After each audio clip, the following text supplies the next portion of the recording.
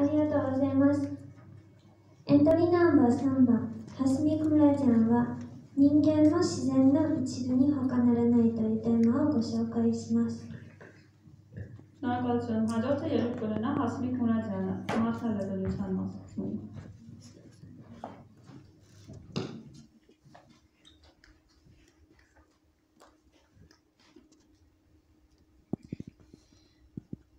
私たちアルネ人はいつの時代も大抵は豊富な女性の中で生き残ってきましたこうした背景からアルビナ人の多くは民族の文化や建造物そして自国の自然を守り後世のために保存するところではないと考えてきたように思います今日アルビナのそれぞれの観光ルートに組み込まれている観光資源が少ないのは事実です。また、せっかく残っている観光資源についても、その由来に関する詳しいデータが不十分です。そして、残念ながら、私たちはこれらの現実から目をそらしがちです。こうした見解から、知らず知らずのうちに、アルミネ人にとって極めて価値の高い国家的あるいは民族的な遺産の多くが失われてしまう危険があると思います。守るべき文化的、文明的、そして文明的な遺産の多くが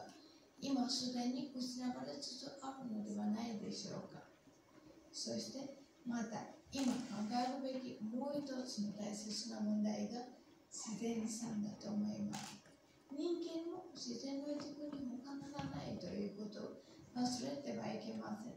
しかしながら、現代人の大部分は自然から離れて人工的な環境の中で生活し、自然やそこにある規則を守らないでばかりいます。私は自身の人生経験からその大切さを痛感しておりますが、散歩のような気軽にできる観光案内から始めるので十分だと思います。素晴らしいアルメニアの大自然の中を見歩いた後にそこにある文化遺産に音声ガイドで説明を聞くという流れですがこうすることでより記憶に残りやすくなると思います。さらに、えー時間がもし時間が許すのであればこの国に住む人々に自然と身の回りの環境を汚さないで生活することの大切さを伝えていきたいと思います。特に生活においては、より効率的なゴミ処分方法、また自然の中にあっては、ゴミをポイ捨てをせず、また散らかさないというマナーを全国民に伝えたいです。私は日本で生活したときにそうした社会を築くことは可能であるということをしっかり経験しました。周りの人々は音声ガイドの作成やゴミ処分の効率化、人間が汚してしまった自然の清掃し、元取りきれいにするという活動は収入に結びつかないのでやりがいがないと考えています。しかしながら、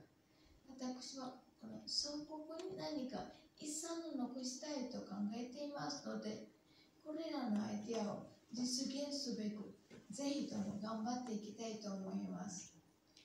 確かに、こうした活動は収入に結びつかないかもしれません。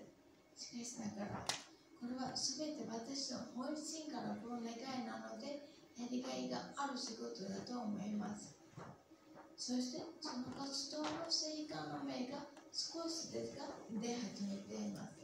ご清聴ありがとうございました。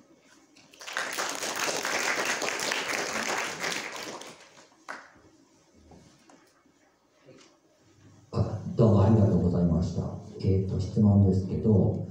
ハズミクさんのその、えー活動、自然を守るための活動の、その、今出てきている成果、例えば、どんな成果が出ていますか？えーじゃあ、あの、私はあ毎日曜日、えーどっかハイキングへ行きます。その時、あつゴミ箱を持ってきてあのあちこち揃えたゴミをあの拾います。できるだけこれだけやっています。はい、ありがとうございます。